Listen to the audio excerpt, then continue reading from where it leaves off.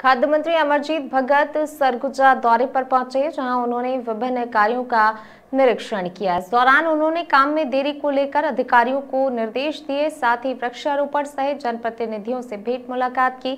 वहीं मंत्री भगत को मेनपाट के कुछ हिस्सों में भूस्खलन होने की सूचना मिली थी। उन स्थानों का निरीक्षण कर नुकसान और संबंधित प्रभाव को समझते हुए प्रशासन के अधिकारियों को निर्देशित किया। मैन पार्ट के पैगा गाँव में है। पैगा मेन रोड से बगडीपारा मार्ग में भूस्खलन हुआ है, जिसमें पूरा रोड जमीदोस हो गया है।